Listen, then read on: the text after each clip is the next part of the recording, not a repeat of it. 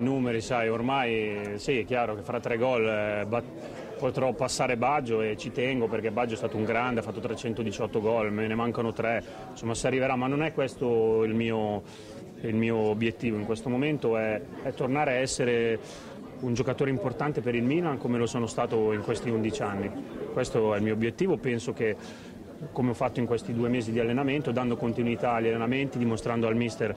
che può contare ancora su di me, poi insomma come ieri magari mi può mettere dentro e lì sta a me fare, cercare di far vedere che sto bene come penso di aver fatto in, questi, in quei 12 minuti di ieri. Ecco.